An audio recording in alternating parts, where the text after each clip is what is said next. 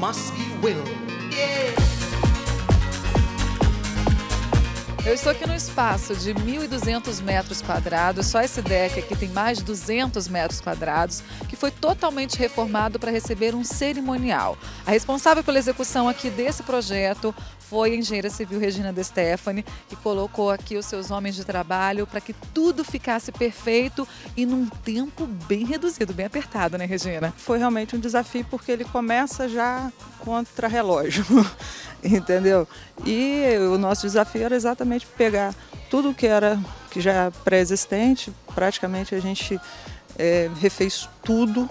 Então a ideia era exatamente estar aqui, tudo que eles precisassem para sustentar uma cortina, sustentar um equipamento de som, sustentar caixa, iluminação, tivesse já tudo adequado, entendeu? Com as necessidades dele. Então teve um acompanhamento de calculista também, a, tempo integral aqui, é, também para nos apoiar nessas necessidades.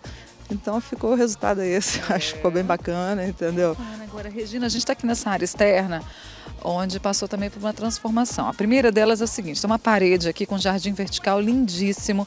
Eu não faço nem ideia de quantas plantas, de quanto, quantos vasos tenham nessa parede. Quantos? Ah, tem mais de 200. Mais de 200. 200 cada um 300. pesando aí seus quase 10 quilos. Quase 10 quilos. Para que tudo isso seja sustentado é, e fique realmente firme, que seguro não caia, né, Regina? O que, que, precisa ser feito? Então, isso aí foi, foi exatamente, foi solicitado um apoio de calculista para fazer toda essa adequação né, estrutural para suportar porque você tem que pensar no vaso seco e o vaso molhado. Agora, esse deck aqui, para receber essa quantidade de gente numa festa, vamos supor essa casa aqui lotada de gente, teve que ter uma estrutura, um reforço também para sustentar? Teve, teve, também. Isso aqui, que, aqui o que a gente está pisando aqui tem 30, 40 metros cúbicos de concreto aqui embaixo que ninguém vê mas tem exatamente para que não, não, não, sofresse nenhum recalque, principalmente um recalque, a gente chama muito recalque diferencial. Vamos falar então da cozinha agora?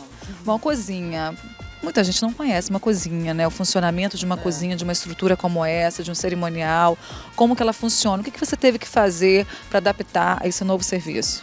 A cozinha, é, quer dizer, ela tem uma gama de, de equipamentos muito grande e muito pesados. Então, para cada equipamento, ele é definido em projeto, minuciosamente, a posição dele e na posição dele tem que estar tá tudo o que é pertinente a ele. Agora, Regina, é claro que você trabalha com uma mão de obra qualificada, não é isso? Todos os seus trabalhadores aqui, eles estão aptos a desenvolver todo esse projeto aqui, esse processo de obra mesmo, de transformação.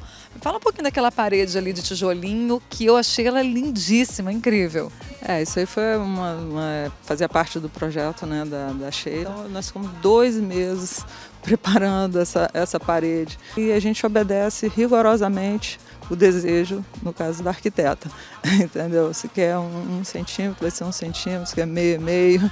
Então, eu acho que são detalhes que valorizam, né? A gente tenta fidelizar a ideia e o efeito, porque o efeito, ele de noite com a iluminação, é maravilhoso. A arquiteta Sheila Basílio foi responsável aqui por todo esse projeto de reforma e mudança também de layout e também entrada de novos produtos, né, Sheila? Como é que foi essa transformação, né, de uma casa noturna para um cerimonial? É, é um programa bem diferente, então exige muitas adaptações.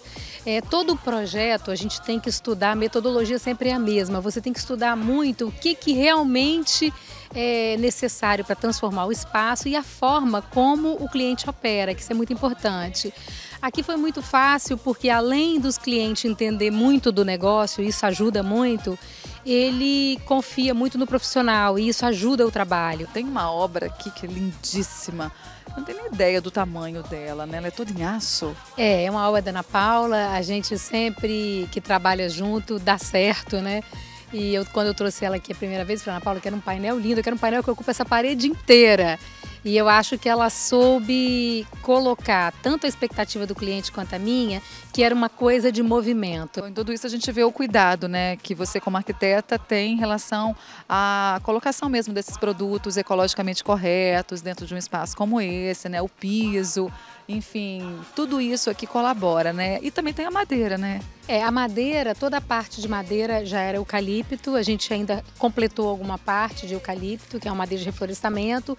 O que a gente fez foi tonalizar a madeira e deu um efeito muito bonito. Se você pode observar, deu um efeito de claro e escuro que deu um, diferencial para a madeira. Várias pessoas já me perguntavam, não, é eucalipto.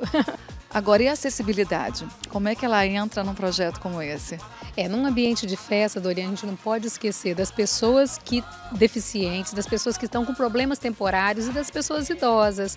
Eu acho que esse que é o princípio da inclusão social. Então nós colocamos um elevador e todo o cerimonial é acessível. Isso é fundamental.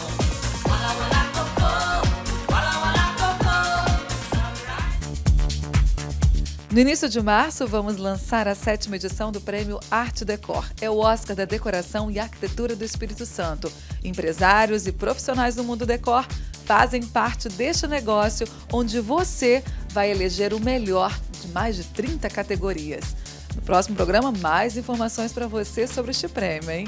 Bom, eu vou ficando por aqui. Muito obrigada pela sua companhia, pela sua audiência de sempre nestes 10 anos de Arte Decor.